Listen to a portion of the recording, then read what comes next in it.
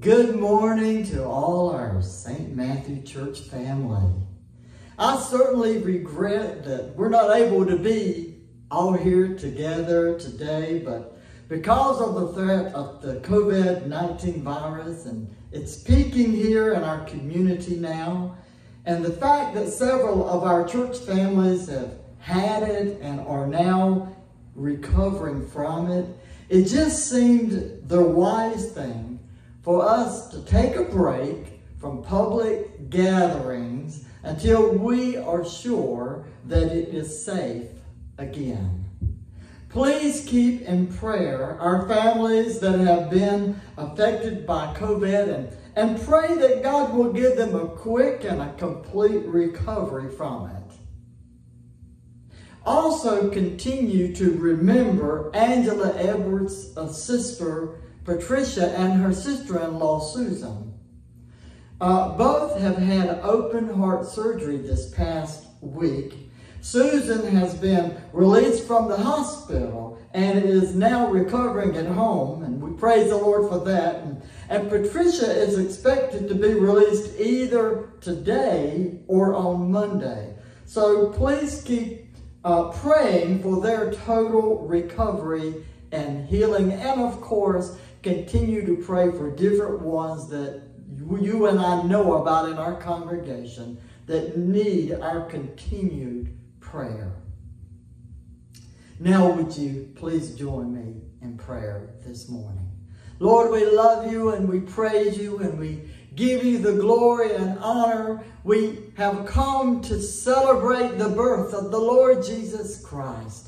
Oh, how blessed we are that he has come into our life and that he has took upon himself the burden of our sins and has uh, cleansed us and given us a renewed mind and given us hope for our future and given us a brand new life in Christ. And all of these things would not have ever been possible had not Jesus come as a little baby boy born to a, a virgin uh, Mary uh, who um, consented and said, Lord, be it unto me even as thou sayest.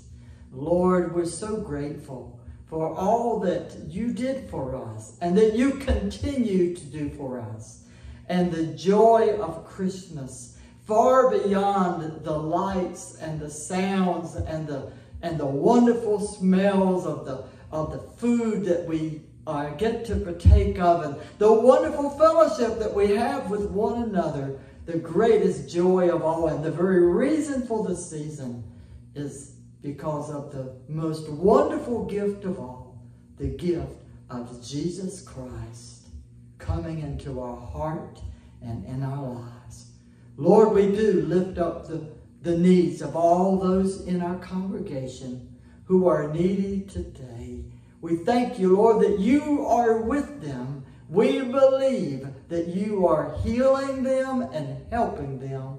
And thank you, Lord, for supplying all our needs according to your riches and glory by Christ Jesus, we pray. Amen. Amen. Well, this morning we get to read the Christmas story.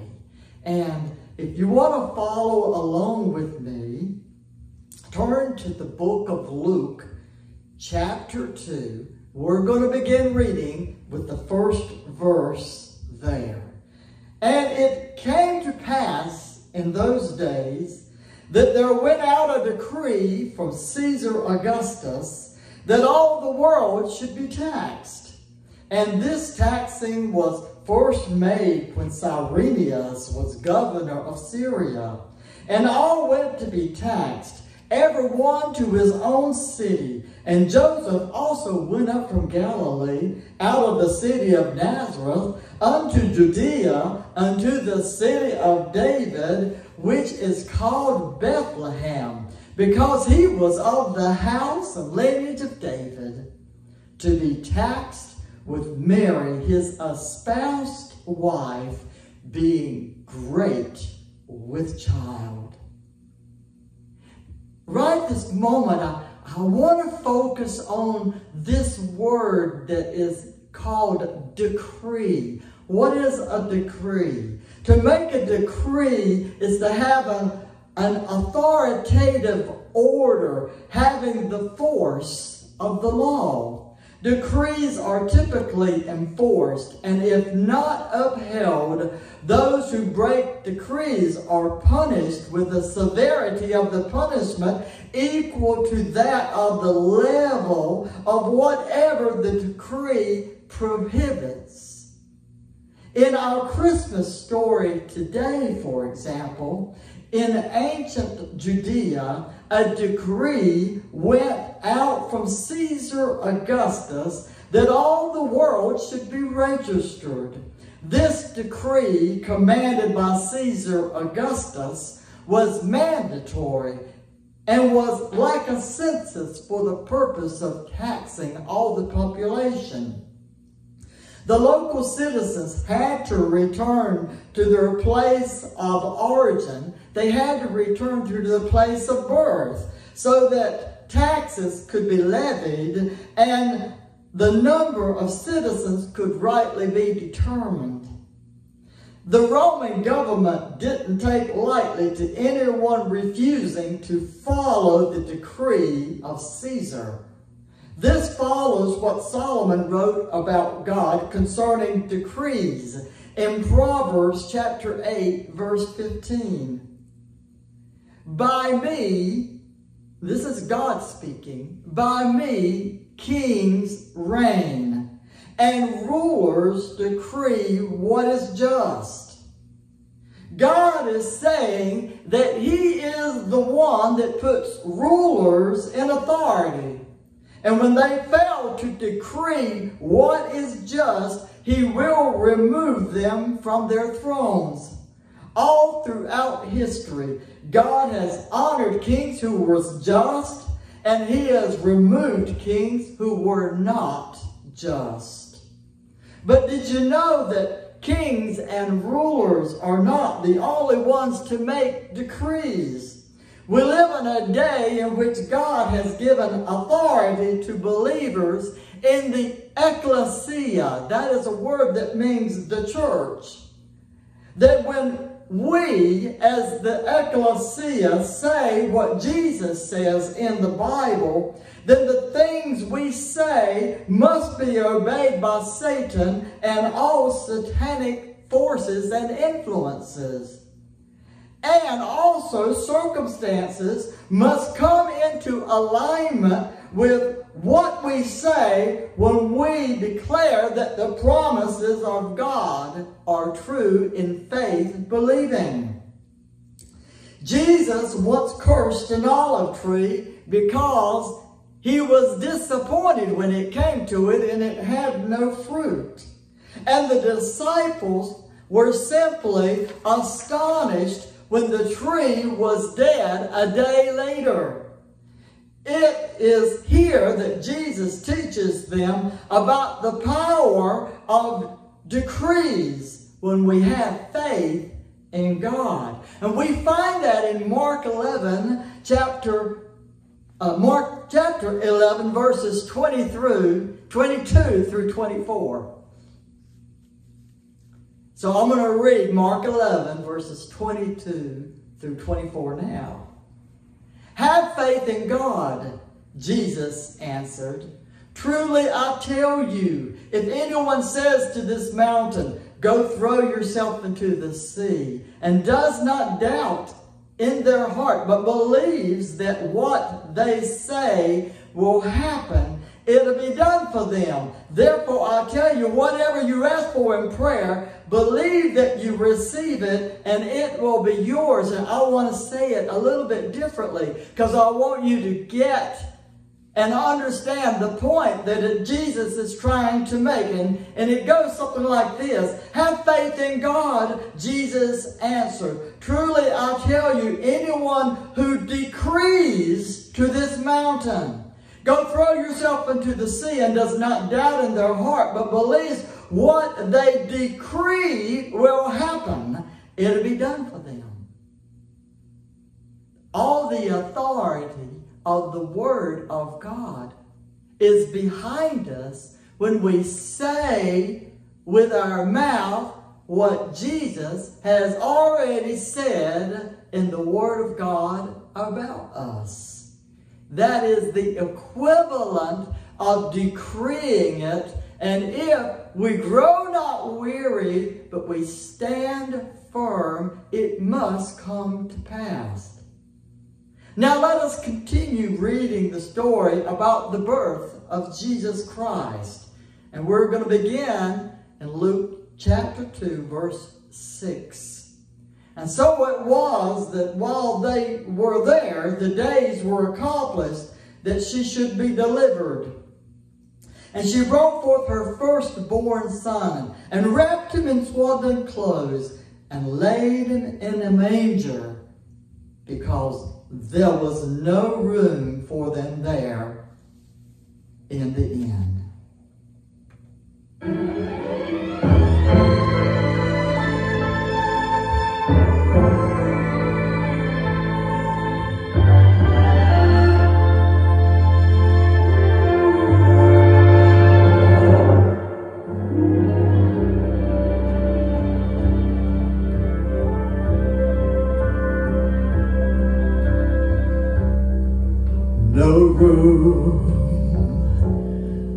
room for him, no room to let him in, no room for Jesus and the heart he made just for him.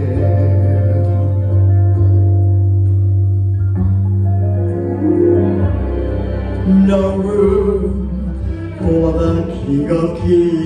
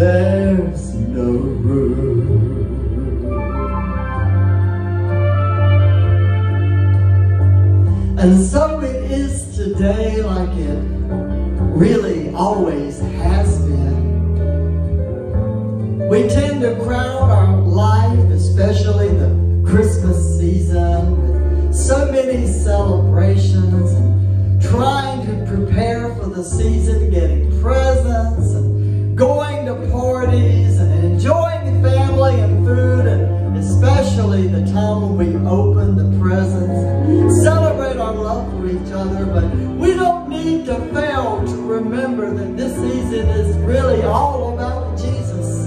And the greatest gift that God ever gave when he gave Jesus to us. Oh, how we love him. How we praise him for all that he's done for us. Make sure you make room for Jesus in your life this Christmas season.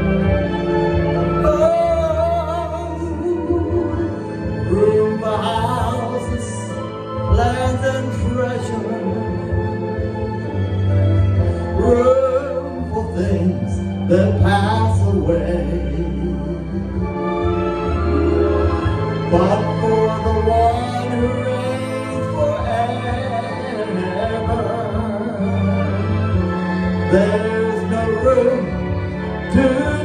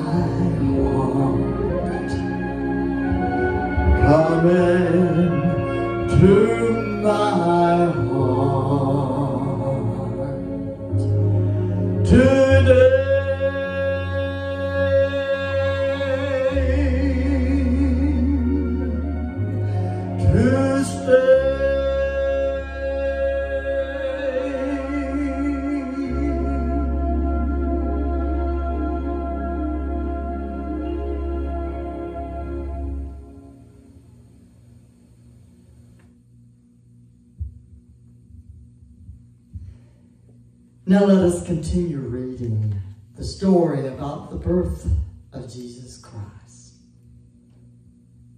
Verse 6. No, it's verse 8. I'm sorry.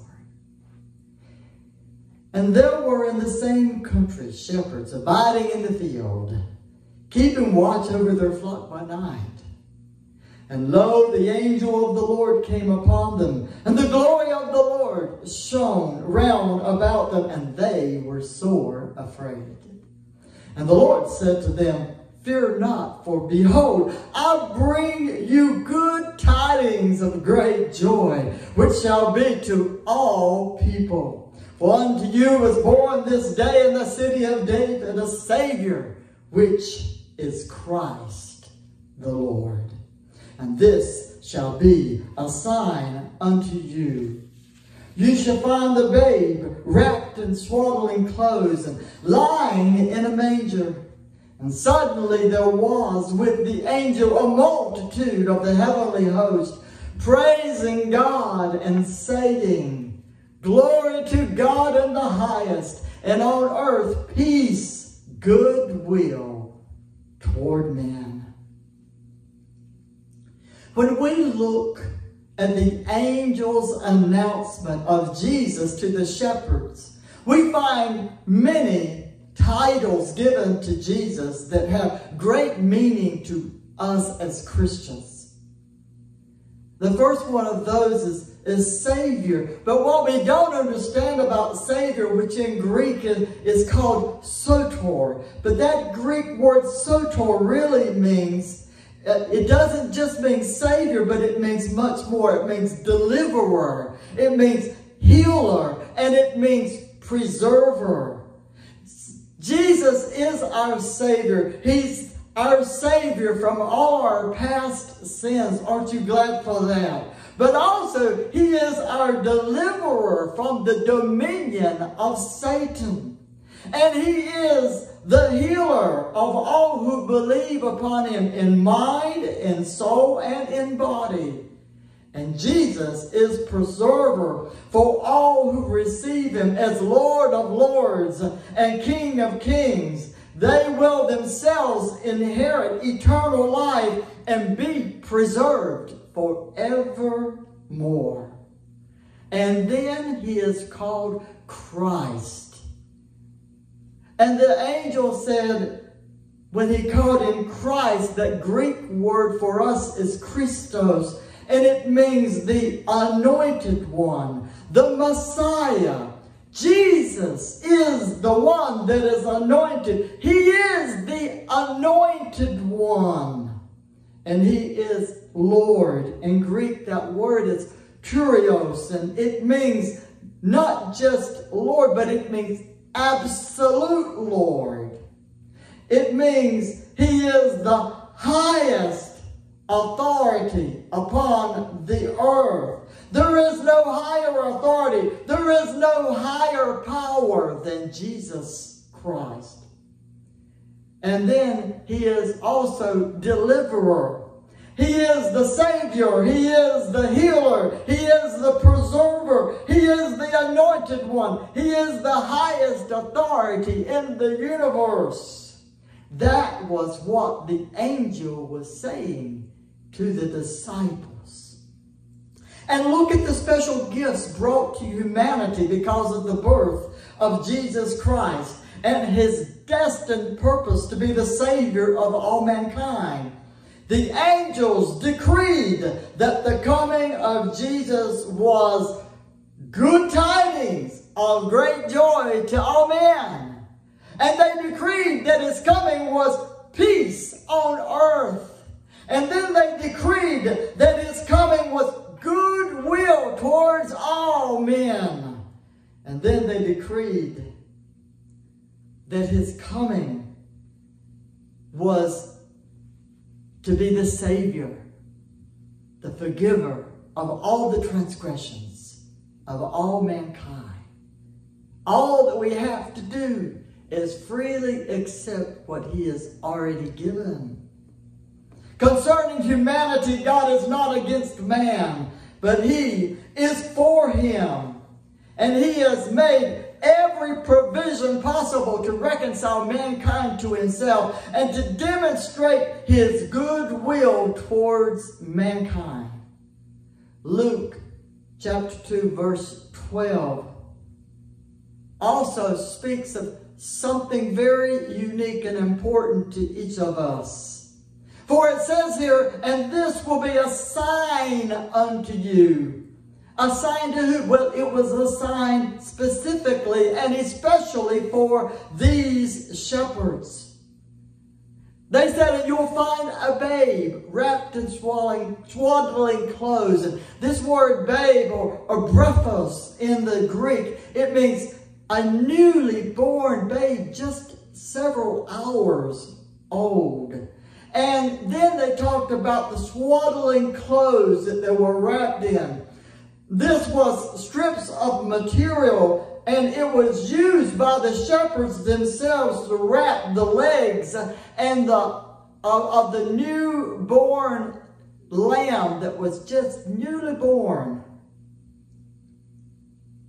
And then they said, you're going to know that this is the Lamb of God because when you see him, he'll be in a manger and he'll look just like a lamb, wrapped in swaddling clothes, just like you've wrapped up your own newborn lamb so many times. It was a special sign just for the shepherds. God always goes to special lengths to make himself known to us. And he does it in a way that is unique for every person. Jesus is not just some dogma we believe in. He is a person that we receive into our hearts and his spirit lives within each and every believer. And we know because he is known to us and made himself known to us in a unique and individual and special way for every believer. And now let's continue to read the Christmas story, picking it up with verse 15. And it came to pass, as the angels were gone away from them into heaven, the shepherds said one to another, Let us now go even unto Bethlehem, and see this thing which is come to pass, which the Lord hath made known unto us. And they made haste and found Mary and Joseph and the babe lying in a manger. Can you imagine what type of effect this had upon the shepherds? And when they had seen it, they made known abroad the saying which was told them concerning this child. And all they that heard it wondered at these things which were told them by the shepherds. But Mary kept all these things and pondered them in her heart. And the shepherds returned, glorifying and praising God for all the things that they had heard and seen, as it was told unto them. Mary kept all these things in her heart as a precious possession, kept from corruption as a very pure memory. Luke, the writer of this gospel account that we have just read, no doubt had heard this story from Mary herself who had kept these memories precious and pure, hidden in the secret place of her heart.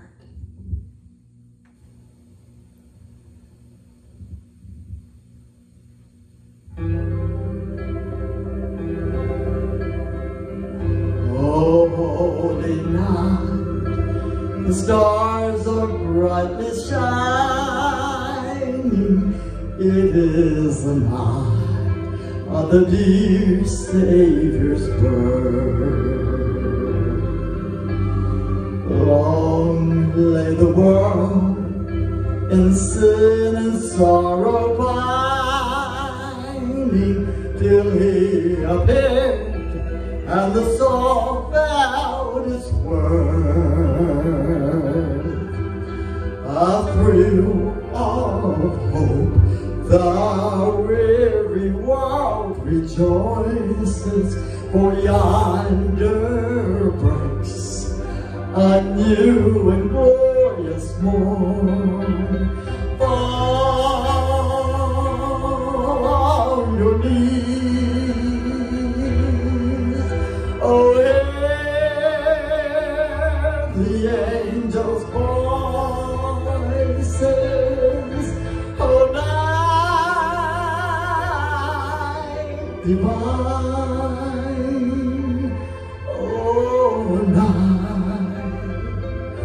when Christ was born. Oh, night divine.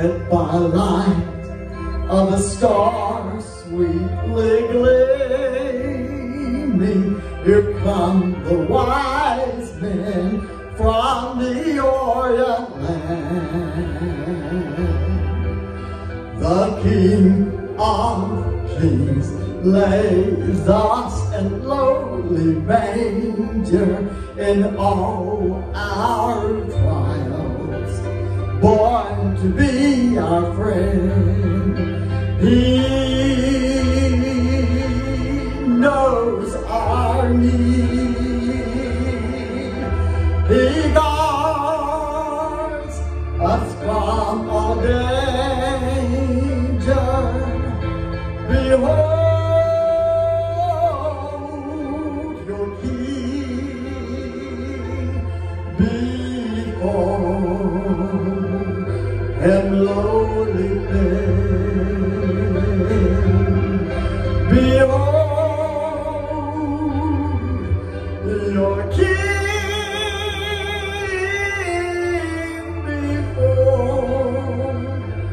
before.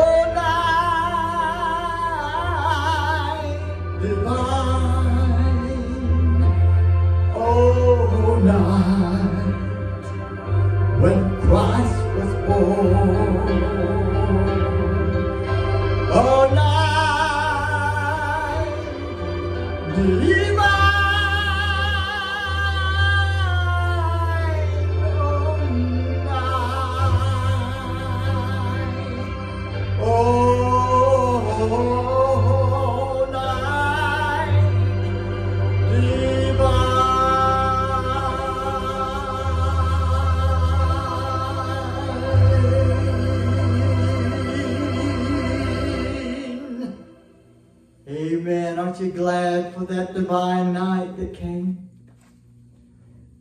Aren't you glad that Jesus gave his gave up his heavenly throne and, and he came to earth as a little baby boy so that he could then become the Lamb of God, worthy as a sacrifice, to be the sin offering for all our sins, and to die for us so that we could be restored to the Heavenly Father and live with Jesus forevermore. And now, from my home to your home, Tina and I wish you a very merry wonderful Christmas season. And until we meet again, may the Lord bless you and keep you. May he make his countenance to shine upon you. And may he give you his peace that passes all understanding.